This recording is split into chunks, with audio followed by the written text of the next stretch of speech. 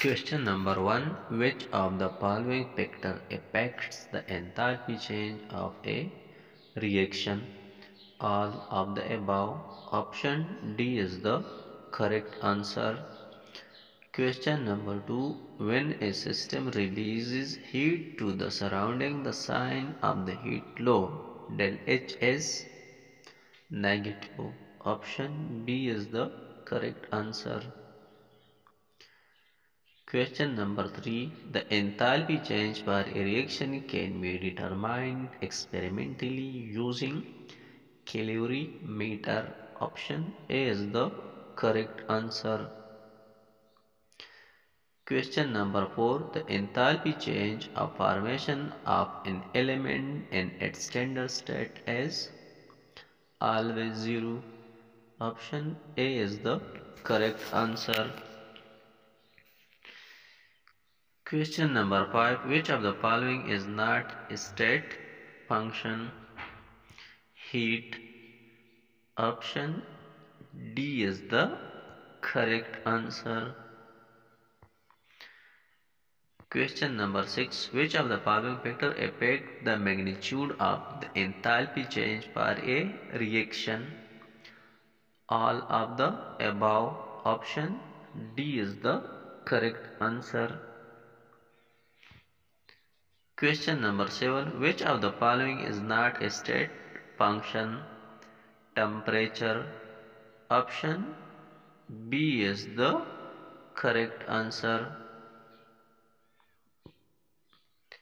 Question number 8. The sign of del G for a spontaneous process is 0.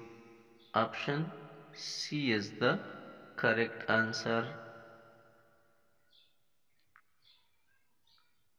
The spontaneity of erection can be determined by the sign of del G option. C is the correct answer.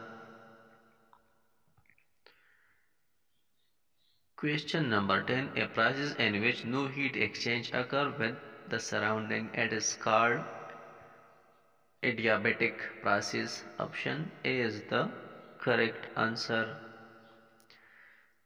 Question number 11. Which of the following is not a standard state condition? 0 degree temperature. Option B is the correct answer. Question number 12. The heat capacity of a substance is defined as the amount of heat required to raise its temperature by 1 degree centigrade option B is the correct answer.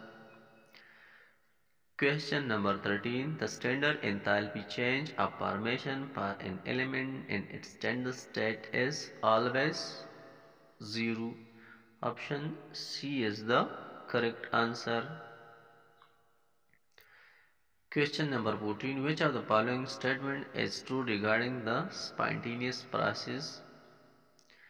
Del G is 0. Option C is the correct answer.